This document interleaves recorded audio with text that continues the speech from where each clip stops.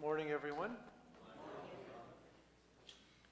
A few years ago, American Express had an advertising campaign with the slogan Membership has its privileges. And naturally, with that campaign, they showed uh, people going on vacation, they showed fancy cars, boats, and all sorts of great luxuries that people can buy, even houses. That's one of the privileges of having this exclusive privilege of, that American Express offered. Of course, other credit card companies picked up on this and decided to offer very generous offers as well. However, what all realize is that privileges also come with responsibilities. So you can charge anything on your credit card, but then comes the day where you actually have to pay for it.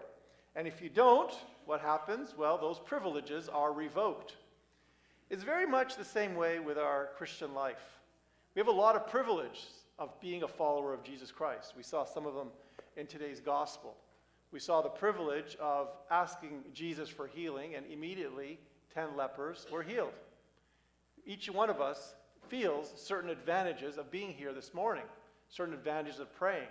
Perhaps a sense of peace in our life, perhaps a good decision that we made because of something we read in the Bible or something we, we heard that other saints did, and that saved us from a lot of trouble. That's a privilege. Um, unfortunately, sometimes we are given a privilege, but we don't exercise it properly, and therefore the fruit of it is not very positive. Let's unpack a little bit some of these some of the details of this gospel. The gospel and the epistle, that is. In the first letter of St. Paul to the Colossians, he speaks about some some privileges, but also always attaches that with responsibilities. He says, When Christ our life appears, then you too shall appear in glory. And just like everything else in the gospel, when we read these texts, they apply specifically to us. When Christ appears, we too will appear in glory. And that is not only something that we experience later on in life or at the end of the world, we experience it here today.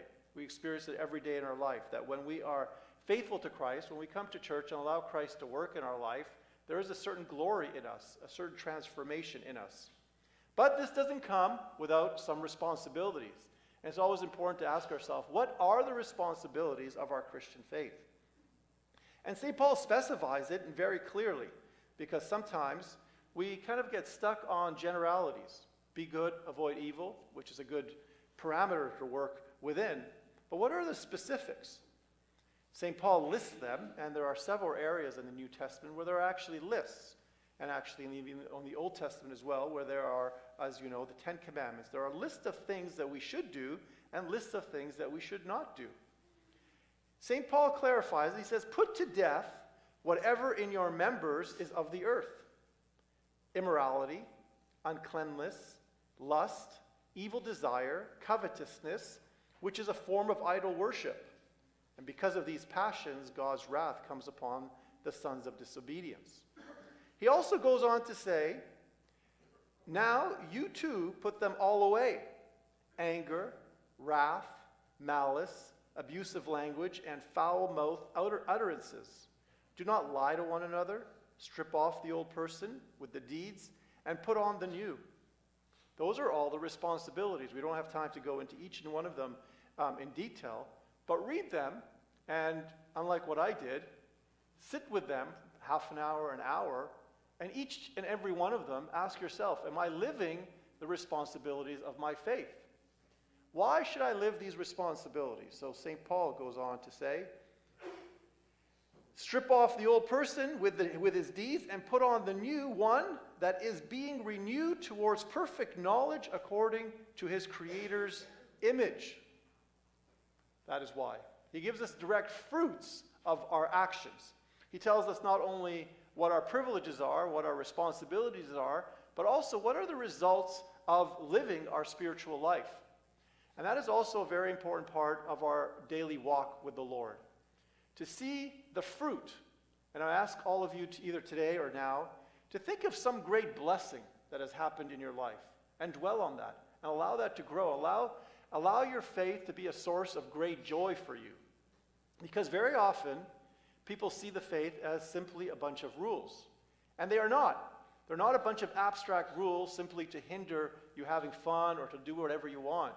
There's always, we should always keep in mind the th- these three stages the privileges we have been given, the responsibilities we have, and also the fruits that are the result of these privileges and responsibilities. The same pattern takes place and is intertwined also in the gospel that we read today. We perhaps might first notice that the lepers were healed, which is a great thing. We all would want to he- be healed of leprosy, which was actually a contagious disease, and everybody wanted to be away from lepers. Nobody wanted to be even close to them. But Jesus healed them. Ten lepers, the details of the gospel tells us they stood far off, but what did they do? They, they cried out, Jesus, Master, have mercy on me. And this is also a reflection for us. None of us here has, has leprosy, because for the most part, leprosy has been eradicated. In very small parts of the world, it hasn't. But none of us has a contagious disease like that. But each and every one of us has hidden diseases. When we think of those who are physically handicapped, sometimes people feel sorry for those who have lost a leg or can't function in a particular way. But each and every one of us has some sort of handicap. Every one of us has some sort of mental disorder of some sort, some larger than others. And so each and every one of us, including myself, fully recognize that I have a lot of mental disorders. I'm working on one of them at a time. There are about 387 left, so it's going to be a while. But that's a really important point because we over glamorize physical beauty and physical health, although we should be physical, physically healthy. But at the same time, God asked us to look inwardly. What are the things that are paralyzing us emotionally and spiritually that others may not see? God wants to heal us of those. And God will. That is the privilege of being a follower of Christ. God wants to reach into your life and heal you, but there is a prerequisite. There is a responsibility, and that is shown to us uh, in a lot of these passages in the Bible, specifically today, where first responsibility is to be able to cry out to the Lord. Cry out and ask Him, Jesus, Master, have pity on me, have mercy on me. And right away, the fruit of that is shown to us. And they, as they were going, they were all healed. That is the fruit. Always see these different stages intertwined in our life.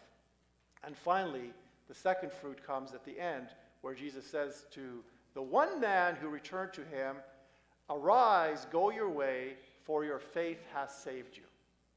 This is the important thing, or one thing I wanted to focus on today, is that we may think of the privileges of being a follower of Christ. Number one, stop and think of those privileges. Think of the things that you have benefited in your life because you are a follower of Christ. But then don't leave it at that. Think also of the things that you are required to do to continue to grow in your faith.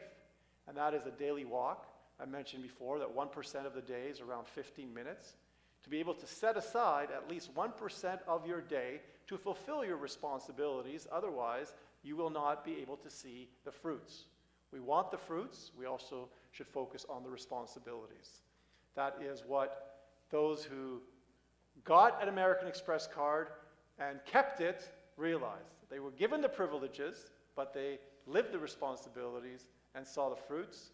But that is much more important in our spiritual life to be open to the privileges that God gives us, but also be willing to commit ourselves to the responsibilities and rejoice in the daily fruits that He gives us.